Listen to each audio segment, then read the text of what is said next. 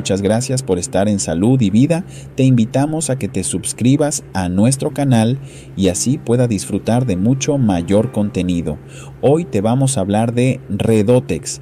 Redotex es un medicamento para adelgazar compuesto por cinco sustancias: atropina, diazepam, aloína, triyodotironina y denorpseudoefedrina. Es un supresor del apetito y promotor de la pérdida de peso.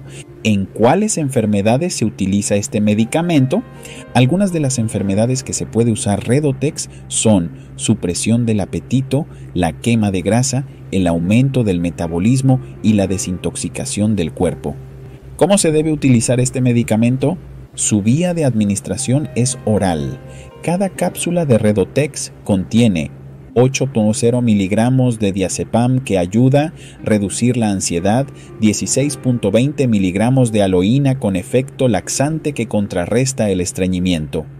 También contiene 50.0 miligramos de clorhidrato de D-norpseudoefedrina, ayuda a reducir el hambre. Contiene también 0.075 miligramos de triyodotironina sódica que favorece la degradación de grasa y 0.36 miligramos de sulfato de atropina que disminuye las secreciones gástricas y salivales.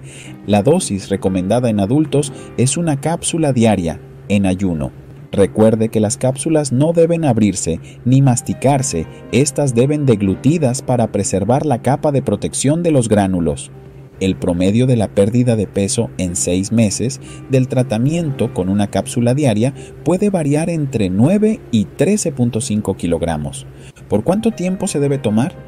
La duración del tratamiento puede variar según la condición que estés tratando. Se puede aplicar durante seis meses. Sin embargo, si no surge ningún efecto, es recomendable consultar a su médico para cualquier duda que tengas del medicamento, contraindicaciones y advertencias. Este medicamento está contraindicado durante el embarazo y en periodo de lactancia, también en pacientes con anorexia, insomnio crónico, hipertensión arterial, diabetes, insuficiencias hepáticas y o renales. Finalmente, los efectos secundarios del medicamento son ansiedad, náuseas y mareo. Una vez más, muchas gracias por haber visto este video. Recuerda suscribirte y compartir para que pueda llegar a más personas.